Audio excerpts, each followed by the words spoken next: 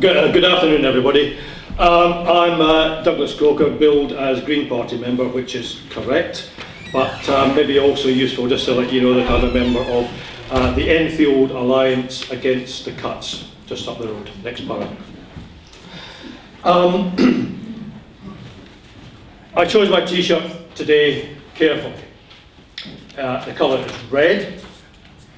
Um, I describe myself as an old lefty who gets the green agenda. And it also has a slogan on it saying 350.org. If you don't know what that is, please ask me a question later on.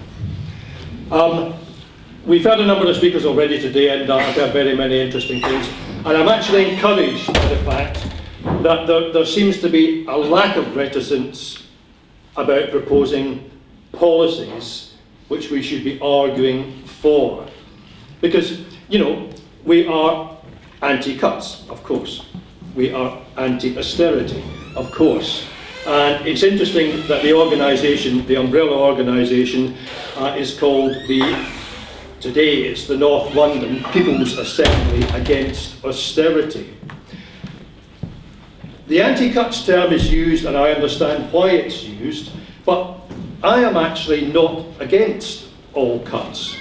This will be a familiar list, but let me just remind you of it. Trident.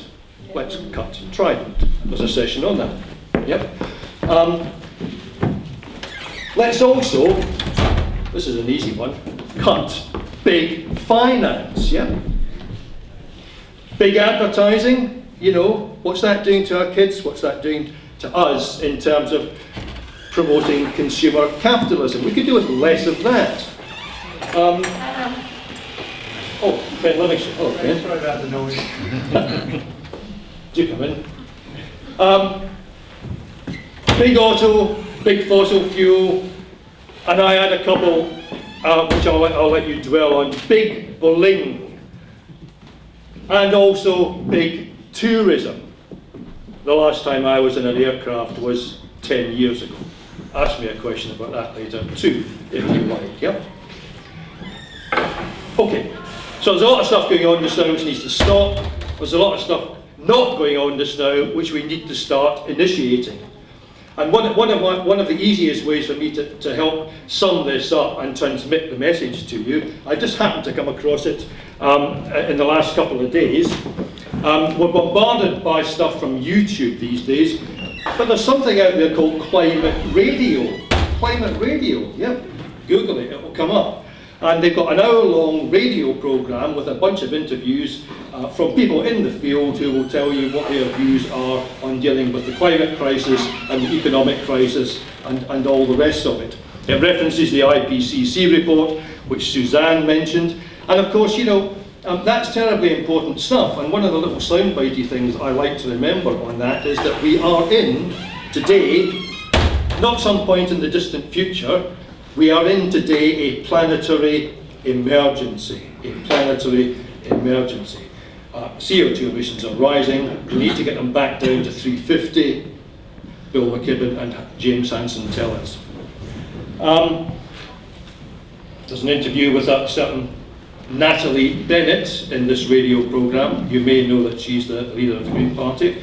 And the reason, reason for that is perfectly straightforward. Green Party policy is um, very directly targeted at the task that we need to address, climate change and global warming.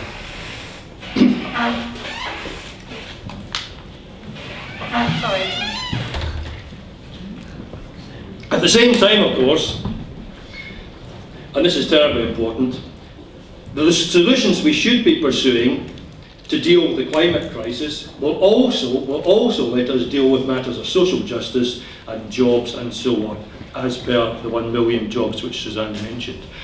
Uh, other people have been talking about this too. Let me just wave this at you. There's an outfit called the Green New Deal Group. Uh, have anyone heard, has anyone heard of the Green New Deal document as of 2008? Okay, that's worth Googling.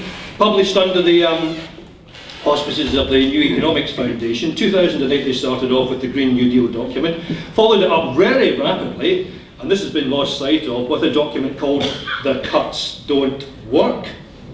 Five years on from 2008, they produced this, a national plan for the UK from austerity to the age of the Green New Deal. And there, there they set out the problem and they set out a whole range of, of solutions. So they talk about um, a transaction tax. They talk about buying back the PFI deals, uh, uh, deals which are, you know, that would be expensive, but it's even, it's going to be even more expensive letting them run on into the future. So we're not actually short of ideas, not actually short of policy proposals. Um, the difficulty, of course, for us is that who is going to implement these? Um, the current government is, well, I, I don't really know what to say about them. Um, the opposition uh, is uh, um, disappointing. Um, it's sometimes said that there is only uh, one MP in Parliament who's the true opposition. I'll let you guess her name. Um, I've been asked to wind up. So we, we, do, we do have a problem as to who is going to make all these changes, and this is obviously part of the solution. One, finally, finally, one, one thing that the agenda, the agenda develops as time goes on. And one thing we really do need to be addressing is this fixation, fixation with traditional economic growth as measured by GDP, gross domestic product, or similar measures. It's not good because it seems to imply a growth in CO2 emissions. Unless we can pursue prosperity, I'm referencing Tim Jackson's book Prosperity Without Growth, unless we can pu- pursue prosperity, which is good for all of us, without a growth in CO2 emissions, we have got a major problem. And I, I think I better stop there. Thank you very much.